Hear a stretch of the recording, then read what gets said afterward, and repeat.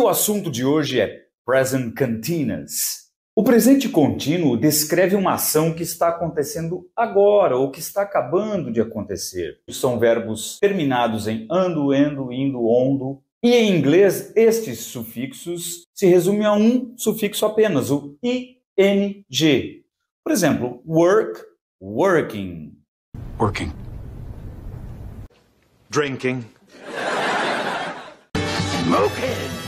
A fórmula para o afirmativo é o sujeito mais o verbo to be mais o verbo principal com o ing.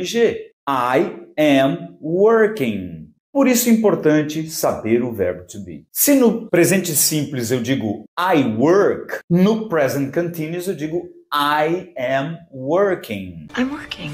Então usamos o presente contínuo para ações que ocorrem no momento da fala. What are you doing right now? What are you doing right now? are you doing right now? What are you doing right now? What are you doing right now? What are you doing right now? It is raining. It's, it's raining! It's raining! Modo negativo. Aí o sujeito mais o verbo to be mais not mais o verbo principal com ing. Se eu dizia I am working, eu digo I am not working. I am not working.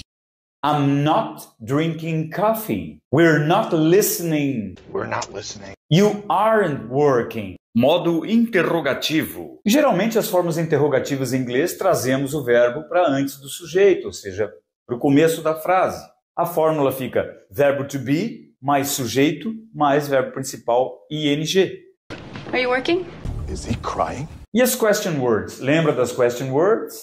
What, when, where, who, why, how. E com as question words, eu só coloco esse pronome interrogativo antes do verbo to be. Se eu pergunto, am I doing this? Eu posso perguntar, why am I doing this? Why are you doing this? What are you eating? What are you doing?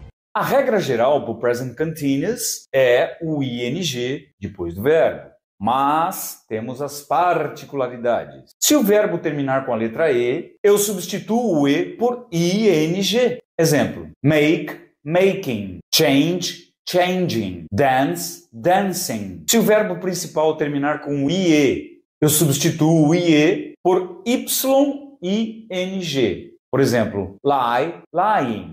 Se o verbo principal terminar em CVC, consoante, vogal, consoante, eu dobro a última consoante e acrescento ing. Por exemplo, run, running. É isso aí, pessoal. Este foi o Present Continuous. Um abraço e até a próxima aula. Valeu!